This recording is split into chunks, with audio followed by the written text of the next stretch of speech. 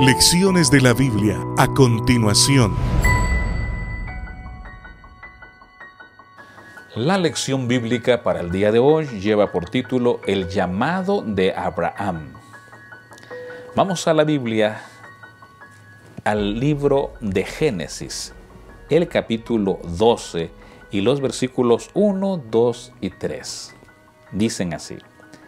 Pero Jehová había dicho a Abraham, vete de tu tierra y de tu parentela y de la casa de tu padre a la tierra que te mostraré.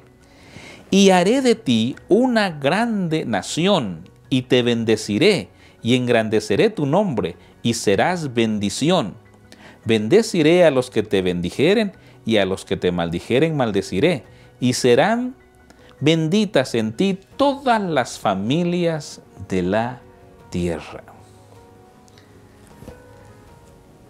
Siempre hay una oportunidad para el ser humano en el reino de Dios.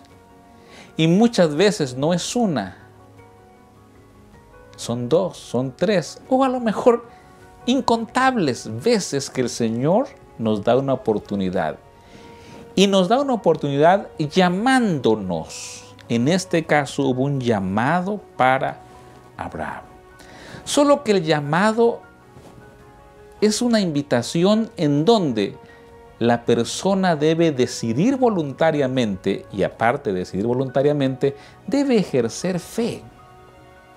En este caso, la invitación es deja tu tierra, tu parentela, tu ambiente, donde has eh, pensado que podías continuar, y debes ir a un lugar. ¿A dónde, Señor? No, no te preocupes, vas a un lugar eso requiere fe.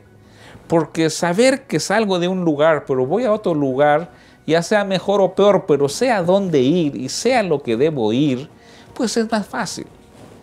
Pero salir sin saber a dónde requirió de fe. Y Abraham tuvo esa fe. Ahora, ese llamado también iba acompañado de una promesa. Haré de ti una nación grande y te bendeciré y engrandeceré tu nombre y serás bendición, bendición. La promesa hecha a Abraham también llega a ser una promesa para tu vida y para mi vida. ¿Cómo así? Se han pasado miles de años desde ese llamado y esa promesa, sí, pero el Dios de Abraham es nuestro Dios. Y el plan de salvación es uno mismo. Y la intención de amor y de bendición para los hijos de Dios sigue siendo la misma. Dice Gálatas capítulo 3 versículos 7, 8 y 9. Sabed por tanto que los que son de fe, los que son de fe, estos son hijos de Abraham. Entonces, ¿Qué aprendemos de Abraham? Que tuvo fe cuando recibió el llamado. Si esa fe hoy también la aplicas y aceptas el llamado del Señor, entonces pasas a ser también descendiente de Abraham. Dice el versículo 8. Y la escritura, previendo que Dios había de justificar por la fe a los gentiles, dio de antemano la buena nueva a Abraham, diciendo, en ti serán benditas todas las naciones, de modo que los de la fe son bendecidos con el creyente Abraham, dice el Nuevo Testamento. Los de la fe. En resumen, un día Abraham recibió un llamado para salir e ir a otro lugar.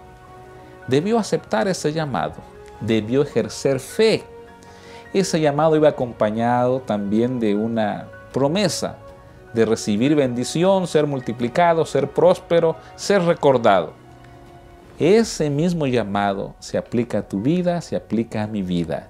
Y esa misma promesa de bendición y de cuido y de perseverancia se aplica a tu vida y a mi vida. Que así realmente pueda ser. Por eso vale la pena aceptar el llamado del Señor caminar por fe y esperar las bendiciones del Señor en nuestra vida. Soy Eber Roblero. Recuerda, hoy es el día de tu salvación.